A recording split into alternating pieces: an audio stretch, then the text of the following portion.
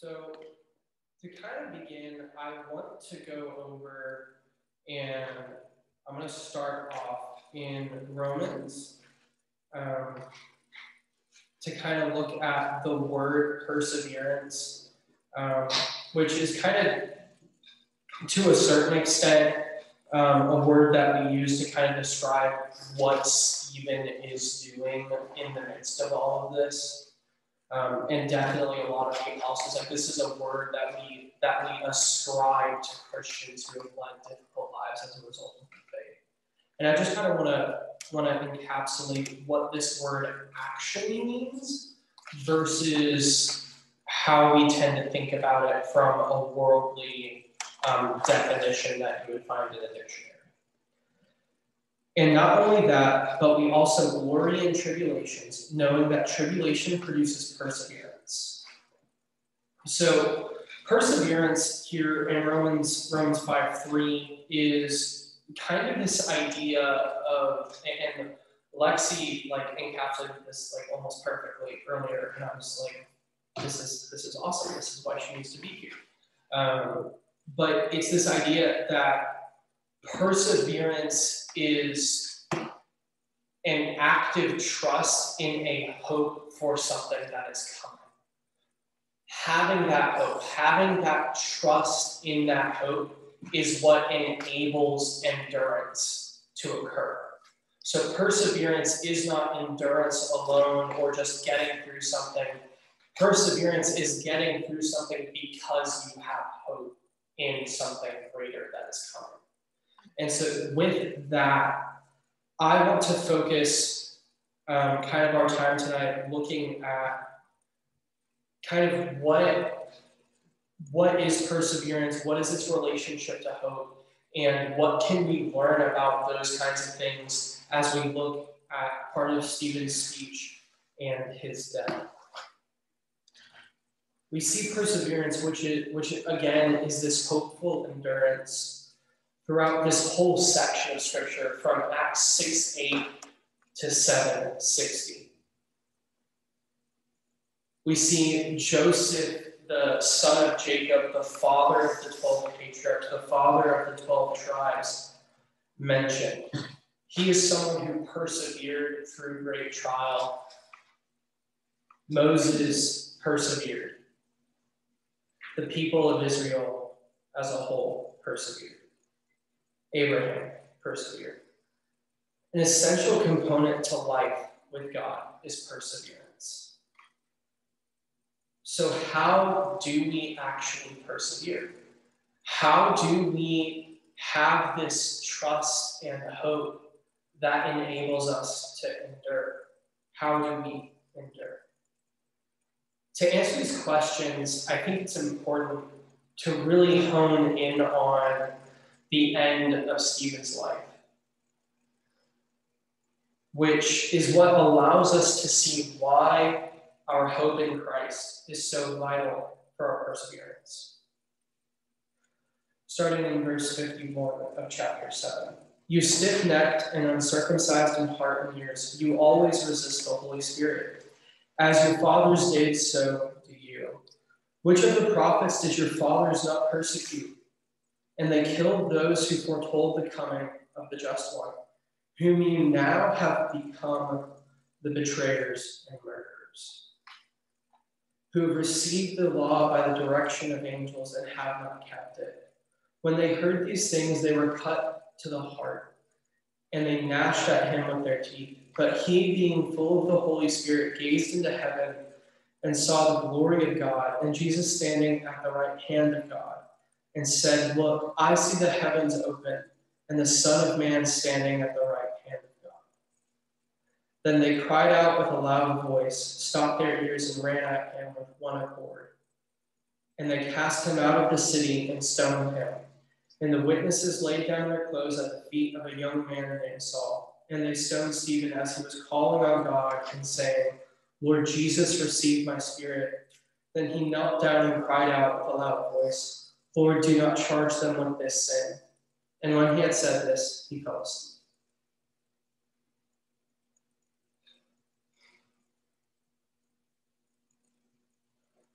We endure by our expectation and hope in the promise of Christ, which is everlasting life with God. John 3:16. So many other scriptures, so many other passages talk about the reality of this life that continues on after the physical death of the body because of the promise of God in his Son.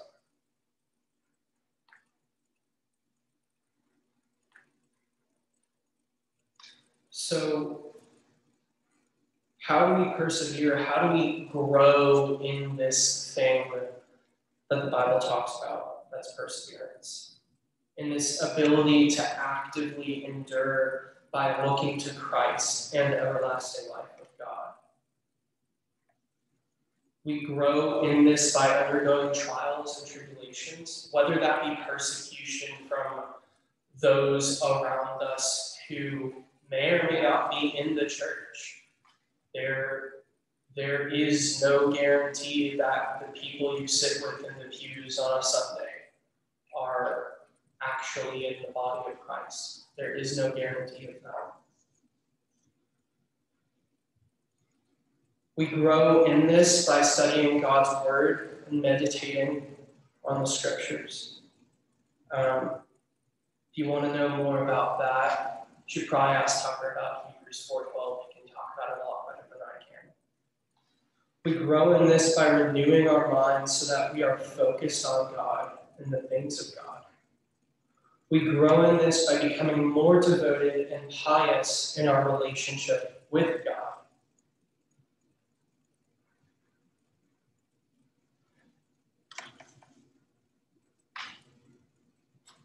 This is something that I suck at. Growing in these areas, you know, keeping my focus on Christ, keeping my focus on the hope that is Christ. I can't tell you guys tonight what the absolute best way to do this is because I don't know. I don't have this perfect and full understanding of what that looks like. But what I do have is I have the things that I failed at. I have my own failures and I have an example to look to, which is Christ, and in this case is Stephen. I have the scriptures. And so to kind of focus in on some of this and my own failures, I want to I want to really focus on verse 55. But he, being full of the Holy Spirit, gazed into heaven and saw the glory of God and Jesus standing at the right hand of God.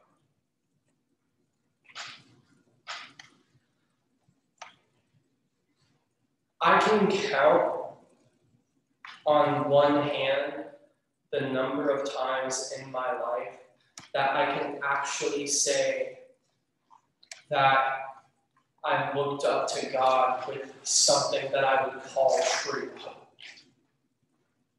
I think more often than not, when I look up to God, when I cast my eyes upward towards the heavens, it's in desperation. it's in frustration. It's in anything but what we would call hope. And yet, Stephen, who looks so much like Jesus in this moment, is casting his eyes upward and he sees the glory of God. And it was because he was full of the Holy Spirit. It's because he was fully submitted to God's will for his life.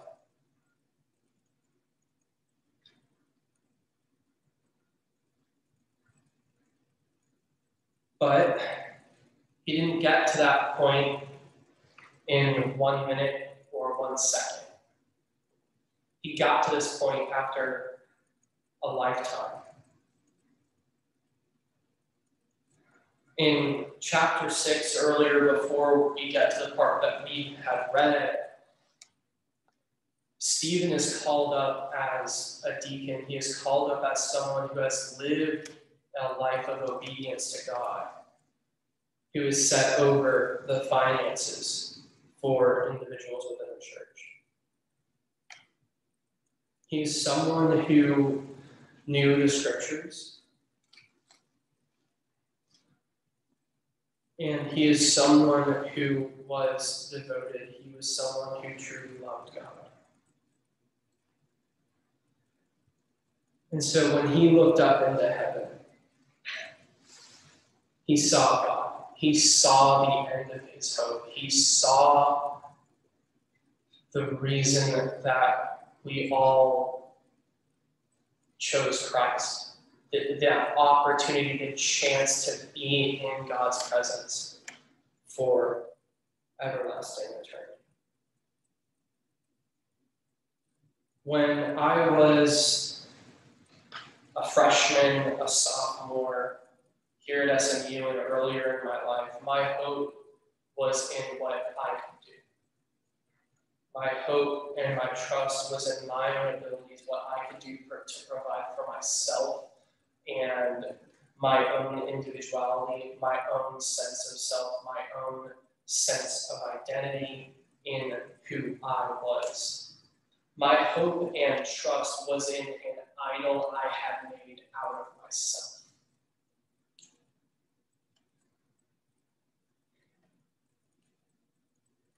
And when I think back on that in comparison to what so many of you have already said about Stephen,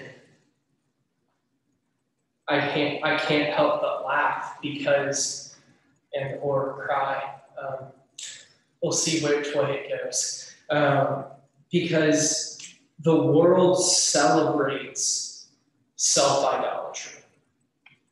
The world around us says that doing things your own way, that doing things the way that you want to do them, is how to enjoy life.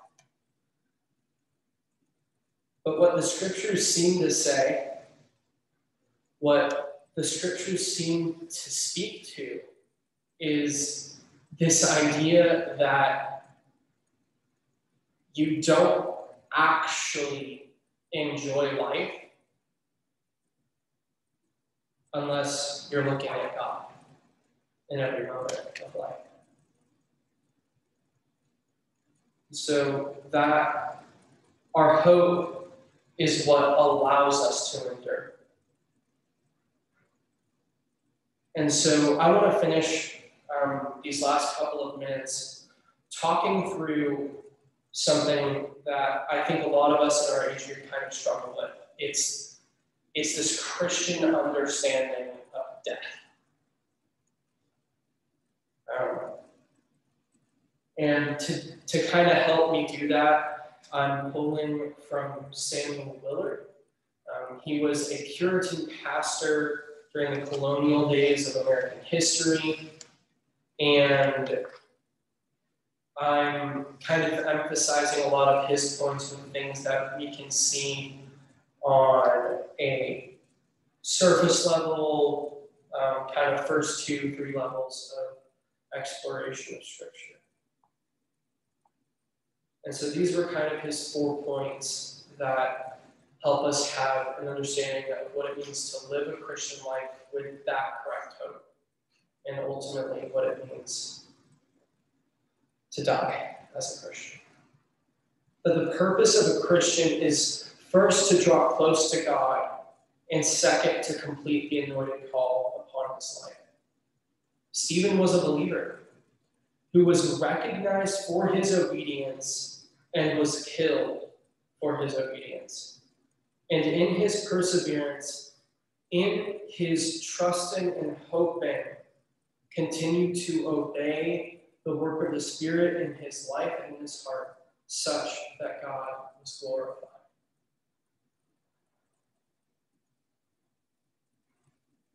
But the value of a Christian, the value of a child of God, is such that both his life and death have an honor and a value bestowed and imparted to them.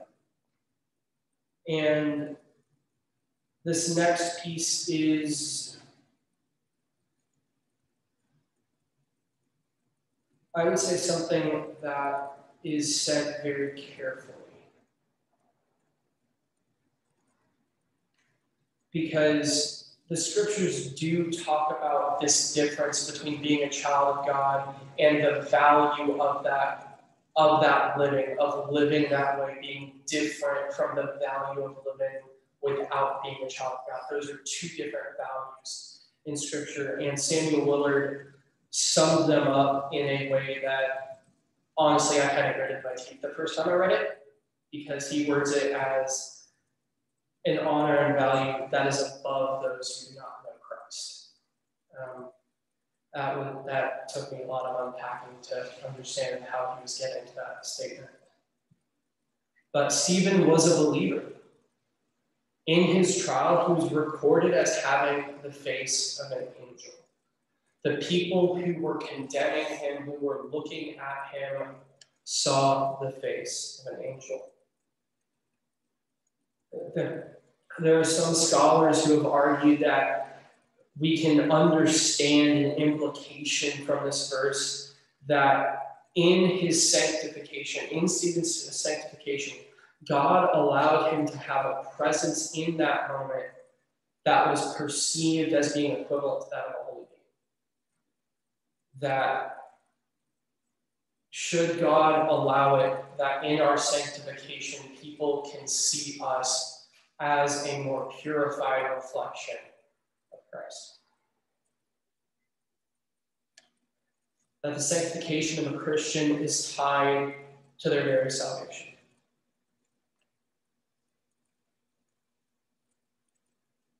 Stephen being recognized as a deacon and earlier on in chapter 6 is it's evidence of that sanctification process that does not begin until one is saved.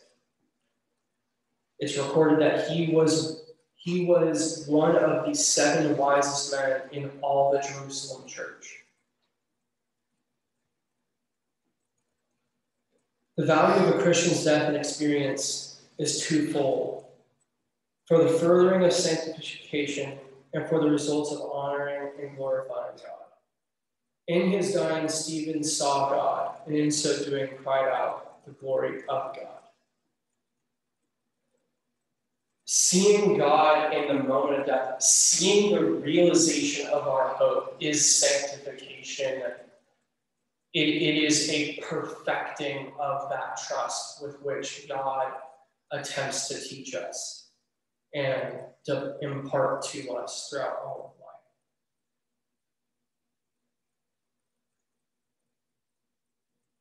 Perseverance is the discipline by which God enables us to experience the greatest of sanctifications. Perseverance, looking at God, having hope, and keeping our focus on Him is the very it is the very discipline, is the very habit that allows us to grow closer with God than anything else. Because if we don't have our eyes on God, doesn't matter how often we're reading the Bible, doesn't matter how often we're in the church, doesn't matter how many Fridays we show up in this building at nine o'clock at night and go till who knows if we don't have our eyes on God. None of that is worth anything.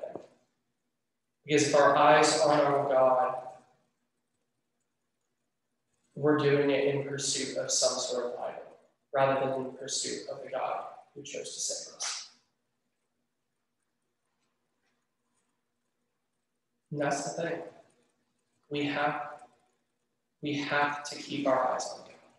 We have to ensure that our hope stays true to the promise we have been given. And that's the whole point of tonight. That's, that's the whole point of this talk. If you get anything at all from the discussions and from this, is that we need to keep our eyes fixed on Jesus. Because if they aren't fixed on Jesus, we've missed everything.